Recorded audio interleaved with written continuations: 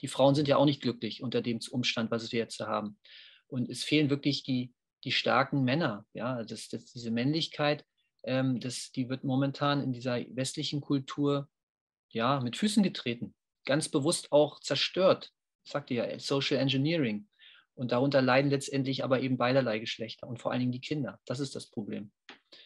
Und wenn wir uns mal überlegen oder anschauen, was für Folgen das jetzt hat, dass also Kinder vor allen Dingen untervatert aufwachsen. Es, halt, es fehlt sozusagen der Gegenpol. Ja, also Yin und Yang, wir brauchen beide Pole, denn nur zwischen beiden entsteht sozusagen diese Spannung des Lebens, diese Polarität. Und wenn ein Pol zu schwach ist, dann muss der Gegenpol, ich sage mal, einerseits das kompensieren, in dem Fall jetzt die Frau, aber das führt dazu, dass sie auch schwach wird, weil sie quasi ihre Weiblichkeit ein Stück weit aufgeben muss, um auch männliche Aufgaben zu übernehmen. Und das sehen wir ja auch. Ja? Also wozu hat das im Grunde geführt, diese, diese Entwicklung, die wir jetzt seit über 200 Jahren haben? Sie hat dazu geführt, dass ich sage mal, die traditionelle Familie, ich will noch gar nicht mal von den Großfamilien sprechen, sondern die traditionelle Kernfamilie mehr und mehr zerstört wird. Das heißt, immer mehr alleinerziehende Mütter. Also ich glaube, die Zahlen, die letzten, die ich gehört habe, dass allein in Deutschland über 1,4 Millionen Kinder ohne Väter aufwachsen, also mhm. alleinerziehend.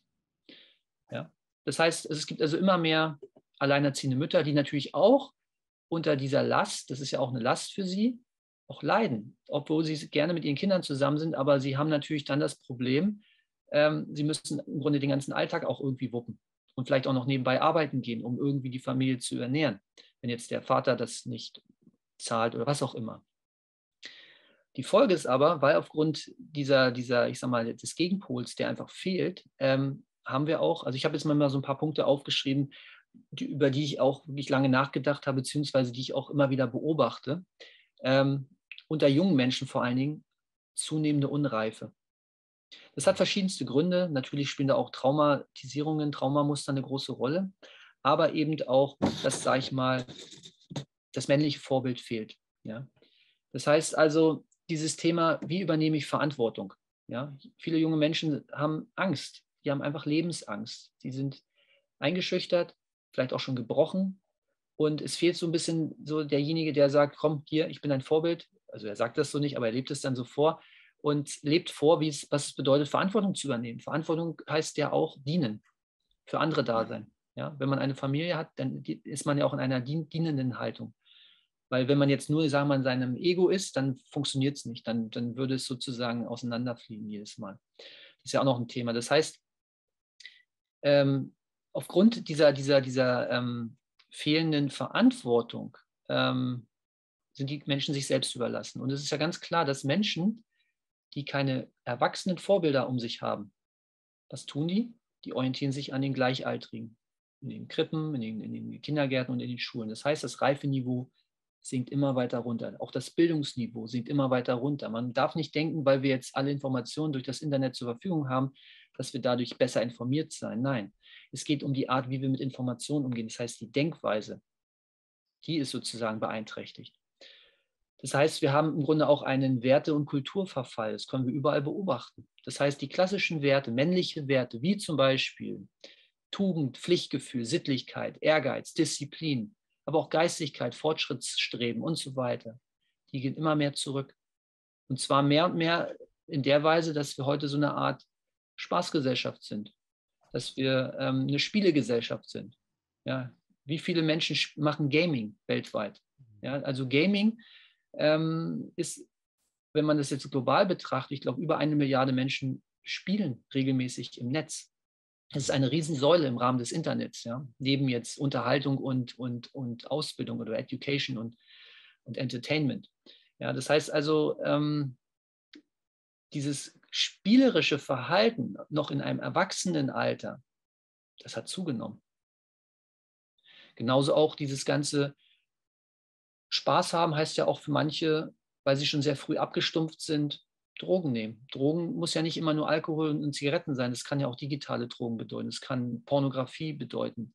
Ja, das heißt also, diese, diese Flucht in irgendwelche virtuellen Welten, wo man selber der Held sein kann, wo man jetzt nicht so einen starken Selbstwert braucht, weil man hier eigentlich nur konsumiert, hat auch damit zu tun. Denn ein echter Mann oder Männlichkeit bedeutet ja auch, dass du Selbstbewusstsein entwickelst dass du Herausforderungen annimmst. Aber wenn du sagst, nee, ähm, ich, ich stelle mich diesen Herausforderungen nicht, im Sinne von, ich will erst die Belohnung und vielleicht mache ich dann noch ein bisschen Arbeit. Nein, die Reihenfolge lautet doch erstmal dich bemühen, ja, anstrengen und dann bekommst du auch eine Belohnung. Dann entwickelst du dich. Aber wir sind eine Gesellschaft geworden, die ohne nur nach Dopaminkicks sucht. Und wenn da nicht Einhalt geboten wird, dann degenerieren wir immer schneller, weil wir im Grunde nur noch in so einer Art Dauerdopaminschleife uns befinden und träge werden, ja, uns nicht mehr bemühen wollen. Das sehe ich bei vielen Kindern schon. Ja, wenn die schon zu früh mit den Videosachen oder Handys zu tun haben. Das ist ja das Problem. Und da fehlt wirklich jemand, der ganz klar sagt, so, das ist jetzt Schluss, klare Regel. Also sozusagen das Männliche, das die Regeln ganz klar einhält und auch dafür sorgt, dass die Regeln eingehalten wird. Also diese Regeln aufstellt und dafür sorgt, dass die Regeln eingehalten wird. Das heißt, diese, diese Vorbilderfunktion, also diese Werte, Fleiß, Disziplin, ähm, Klarheit und so, das sind so eher so männliche Tugenden, das fehlt immer mehr. Und so siehst du es auch. Und die Jungs orientieren sich dann im Grunde an Filmen, an irgendwelchen, keine Ahnung, Schauspielern, Musikern und, und affen, affen die irgendwie nach. Letztendlich, wir lernen ja immer durch Vorbilder. Ja? Kinder lernen durch Vorbildfunktionen. Die suchen sich ihre eigenen Vorbilder. Und wenn ich mir angucke, was es da für sogenannte Vorbilder da draußen gibt, das ist, das ist schlimm aus meiner Sicht. Das ist schlimm. Ja? Jedenfalls, wenn man das mal so quantitativ betrachtet. Was haben wir noch? Ähm, viele Männer sind auch sehr verunsichert, und zwar vor allen Dingen im Umgang auch mit Frauen. Ja, weil sie ja nicht wissen, wie muss ich mit Frauen umgehen, weil sie jetzt nicht unbedingt jemanden als Vorbild hatten. Ja, und viele denken ja, wenn sie so einen auf Macho machen und und ähm, ja, so, was man so heute so, so irgendwo vorgespielt bekommt, das sei jetzt Männlichkeit, so dieses Rumge Rumgehabere. Ja? Und das ist natürlich auch eine, eine, sehr unreife Form von Männlichkeit, wenn man jetzt versucht, so eine Frau zu bekommen. Ja? Und umgekehrt haben auch viele Frauen, das ist auch ein Grund, warum viele Beziehungen sehr schnell wieder kaputt gehen, spätestens wenn die Kinder da sind. Viele Frauen spüren irgendwann die Unreife der Männer, weil sie nicht bereit sind, Verantwortung zu übernehmen, sich zu verpflichten, wollen einfach nur spielen sozusagen wie große Jungs. Das heißt, auch der Groll und der Hass der Frauen gegen solche unreifen Männer ist ja natürlich auch da. Und das führt dazu, dass natürlich die Frau sich ausgenutzt fühlt, im Stich gelassen fühlt, vor allem wenn sie jetzt ein Kind schon erwartet und der Mann sagt, ach nee, doch nicht und haut dann ab. Ja, dann zeigt das Unreife auf der Seite des Mannes und die Frau ist dann entsprechend natürlich tief enttäuscht. Ja, das hinterlässt natürlich auch seine Spuren.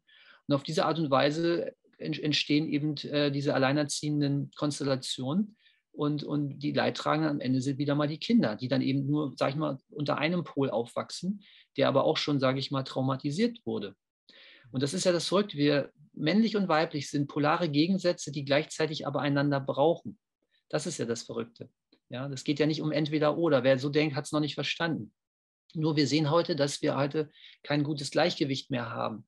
Heute ist das Gleichgewicht zugunsten der rein weiblichen Energien verschoben worden was verständlich ist, wenn man überlegt, wie es davor war. Ja, ich sage mal, zur Zeit des Krieges, da war es extrem männlich, also wo wir so eine Diktatur hatten. Das ist übertriebene Männlichkeit, das ist auch nicht das Schöne. Das heißt, es ist im Grunde für jede Generation immer wieder aufs Neue eine Herausforderung, ein passendes Gleichgewicht zwischen diesen beiden Kräften zu finden. Ja, und wir loten da im Grunde auch gesamtgesellschaftlich das gerade aus, aus meiner Sicht. Ja, wir haben also wirklich jetzt die Zeit ähm, der Monarchien, die dann auch in die Kriege äh, geführt haben, wobei ich jetzt nicht sage, die Monarchien waren die Ursache für die Kriege, aber einfach nur, da war es sehr militaristisch ausgerichtet. Ja, und jetzt haben wir dann im Grunde nach Ende des Zweiten Weltkriegs eine komplett ähm, gegenteilige Bewegung, ja, wo es dann also wirklich um, um die Stärkung des Weiblichen ging, um diese sogenannte Emanzipation ähm, und so weiter. Ja. Das heißt, wir haben jetzt sozusagen die, die andere, das andere Extrem ausgelotet und merken aber auch, das kann es auch noch nicht sein, das, also wenn man es ins Extreme treibt. Und die Kunst ist es ja jetzt zu schauen, okay, was, was, was muss jetzt geschehen, damit wir ein dynamisches Gleichgewicht zwischen den beiden Polen hinbekommen. Ja, ich hatte es ja auch schon mal gesagt, es geht um das Thema Gruppenethik, Individualethik, Universalethik. Und bei diesem letzten Schritt, wie schaffen wir es wieder ein Gleichgewicht hinzubekommen, auch zwischen männlich und weiblich, das ist unsere, unsere aktuelle Herausforderung. Und da muss man einfach ganz klar die Sachen erstmal benennen, dass momentan das Männliche diese Kastration, man könnte auch sagen, es ist eine Art von Aggressionshemmung, die unterdrückt wird, da können wir gleich nochmal drüber sprechen, ähm, die nimmt den Männern im Grunde auch ihren Antrieb, ihren, ihren Handlungsimpuls und lässt sie träge zurückfallen, wie so ein Konsument. Und das ist ja auch eine Situation, dass viele Menschen heute träge, faul sind, Konsument sind, also Dopamin sozusagen ähm, verwöhnt sind weil sie nicht gelernt haben, sich für ihre Belohnung auch vorher anzustrengen. Um das ganze Interview kostenfrei weiterzuschauen, besuche einfach unsere Website funfrieden.de oder klicke auf den Link in der Beschreibung.